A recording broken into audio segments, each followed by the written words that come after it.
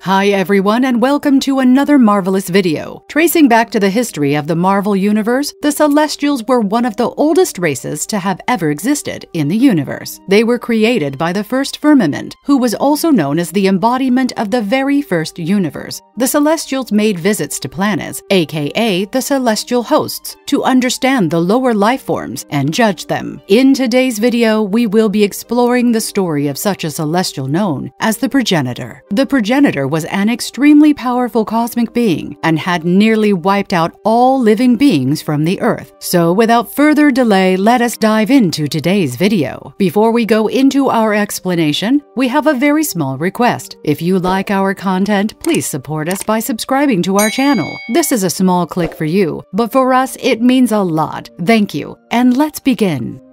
Progenitor Celestial Origins The Progenitor made his first appearance in Avengers Volume 8, Issue 3, and his story was narrated by Loki to a restrained Captain America. Going by the plot of the issue, Loki has pulled off his tricks yet again, and this time he has unleashed the wrath of the Dark Celestials on Earth, recalling his father's story about the Dark Celestial Zgreb and how he was defeated by the combined efforts of the Stone Age Avengers and Odin a million years ago ago and buried deep within the earth, Loki planned on finding the Dark Celestial for himself. He unearthed Zgreb, awakened him and freed him from his confinements. Following this, he summoned the Dark Celestials and facilitated their arrival on Earth to purge the planet. While the Avengers confronted the Dark Celestials, Loki captured Captain America and took him to the bottom of the Arctic Ocean at the North Pole, where the progenitor was resting and began narrating its story. According to Loki, the progenitor was an Alpha Celestial. Billions of years ago, the progenitor was attacked by the Horde, an insect like race serving the fulcrum. Infected by the Horde, Progenitor arrived on Earth and died a painful death, following which fluids began oozing from his deceased body. These noxious necrofluids, which percolated the Earth's surface, forever altered the future of Earth's evolution. Loki explained that the alternation was the sole reason why the planet witnessed superhumans and mutants. The progenitor's corpse remained unmoved and unattended until one million years ago when Celestial Zgreb arrived on Earth in search of the deceased Celestial. He found the progenitor's corpse infested by millions of horde bugs, but before he could do much, the horde soon infected him as well. However, all this while the Horde had also evolved, and instead of killing Zgreb, it deranged him and made him a dark celestial. Zgreb was then defeated by the prehistoric Avengers and Odin.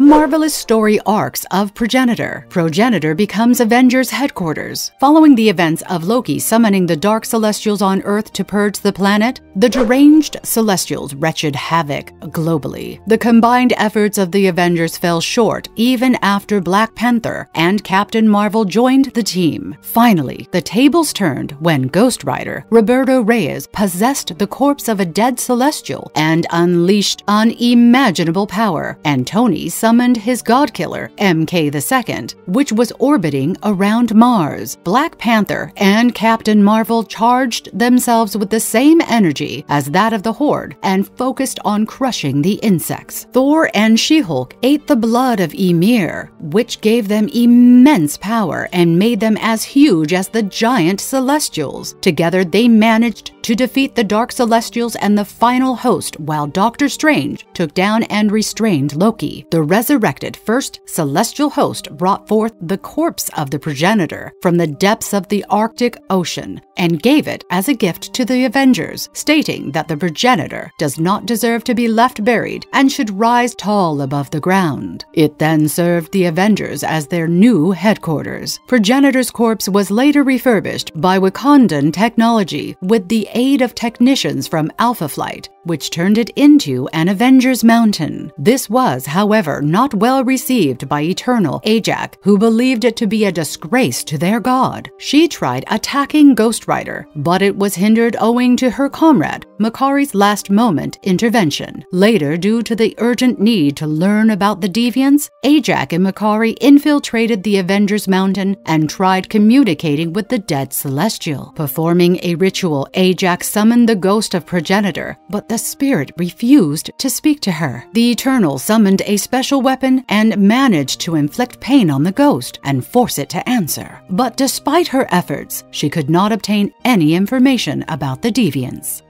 Events of the Judgment Day. Judgment Day is one of the most cataclysmic events of the Marvel Universe. It was a war declared by the Eternals on the mutants of Earth. The Avengers were also part of it, and they fought alongside the mutants to stop the Eternals. Written by Kieron Gillen, the onset of Judgment Day was introduced in AXE, Eve of Judgment Volume 1, Issue 1, published in July 2022. The mutants on Earth were no more at war against each other or the humans. They made the sentient island of Krakoa their new home and were relatively at peace with the humans compared to their decade long struggle against being prosecuted and divided. One of the unique aspects of their new world was the Resurrection Protocol. The Resurrection Protocol was a combination of technology and mutant powers, which allowed every mutant who had ever existed to be resurrected into a new body. Hence, they were technically immortal. They sought to keep it a secret, but as showcased in Gerry Duggan's X Men Volume 6, Issue 12, veteran reporter Ben Urich revealed the news to the world via Daily Bugle. Meanwhile, a newly resurrected Druig killed Thanos and became the Prime Eternal. In hopes of reuniting and strengthening all the Eternals, he asked the machine to provide him with information about the location of the excessive deviation. The machine highlighted Lemuria and the island of Krakoa. Druig considered the immortal mutants as an extreme deviation and sought to carry out the principles of Eternals of excessive extermination deviation, which was previously counseled to him by an imprisoned Uranos. Druig led the Eternals to go on a war against the mutant nation of Krakoa. The Avengers intervened, but taking down Eternals was still more than any ordinary challenge. Ajak and Makkari formulated a plan. They abducted Mr. Sinister and recruited Tony Stark to revive the progenitor, which was then the Avengers Mountain. They finally managed to resurrect the deceased Celestial and also changed its programming so that it would align itself with their moral principles and ideals. However, progenitor, upon waking up, concluded that humanity had failed and declared that every individual on the planet had 24 hours to prove themselves more good than evil, or else he would destroy the world. Judging humanity unworthy, the progenitor demanded the machine that is Earth to self destruct. However, the machine rejected the demand, following which Phastos quickly reset it so that the progenitor could not cause it to explode. By then, every superhero on the planet, along with Ajak and Makkari, came together as one and united themselves with one goal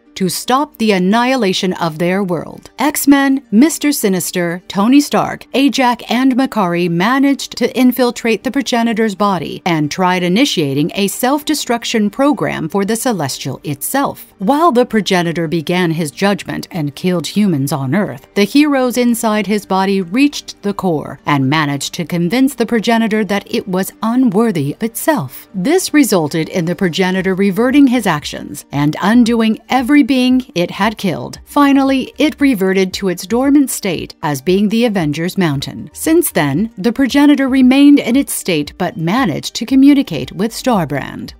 Deathlok as progenitor. In Avengers Volume 8, Issue 54, published on March 16, 2022, we witnessed the progenitor being manifested by Deathlok. The issue, written by Jason Aaron, showcased Deathlok suffering a fatal injury after being struck with Mjolnir by an evil version of Thor. Jane Foster tried carrying out surgery to save Deathlok, or what remained of him, but with no other option, she connected him to the necrotech of the hollowed out progenitor. The efforts were successful, and Deathlok managed to pilot progenitor's body. Equipped with a celestial sized Deathlok blaster, Deathlok joined the fight against an army of Doctor Doom variants and Mephisto at the God Quarry.